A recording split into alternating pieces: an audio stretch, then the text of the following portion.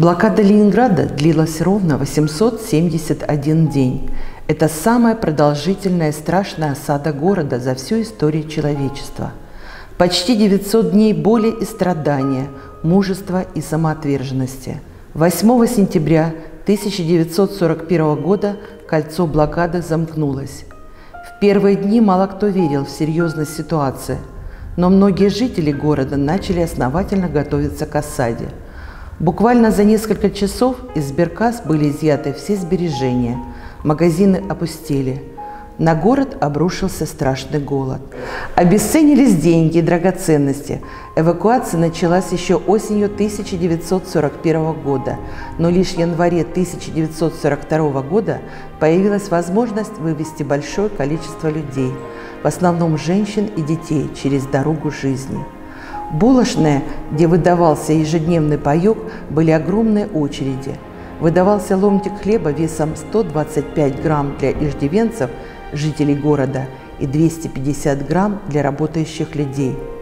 Помимо голода, блокадный Ленинград атаковали и другие бедствия. Очень морозные зимы. Порой столбик термометра опускался до минус 40 градусов. Закончилось топливо и замерзли водопроводные трубы – Город остался без света и питьевой воды. Приходилось ходить к речке ночью, пока затихали обстрелы. Еще одной бедой для осажденного города первой блокадной зимой стали крысы. Они не только уничтожали запасы еды, но и разносили всевозможные инфекции. Люди умирали, и их не успевали хоронить, трупы лежали прямо на улицах. Одновременно с этим ленинградцы всеми силами старались выжить и не дать умереть родному городу. Мало того, Ленинград помогал армии, выпускал военную продукцию. Заводы продолжали работать и в таких условиях. Я Хлудкова Александра, живу в станице Полтавской. Не миновала эта трагедия и нашу семью. Моя двоюродная прабабушка, Шаповалова Валентина Леонидовна, родилась в обычной семье Новгородской области – Валентина Леонидовна сама попросилась на фронт санитаркой, но ее направили в военное училище город Москва, которое она окончила с отличием.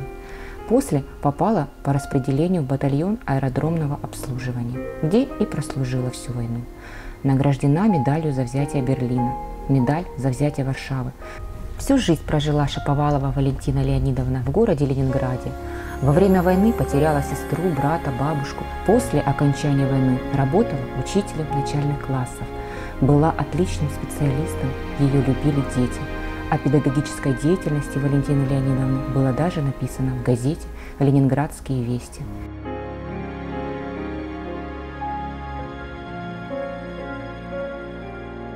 Я горжусь историей своей семьи.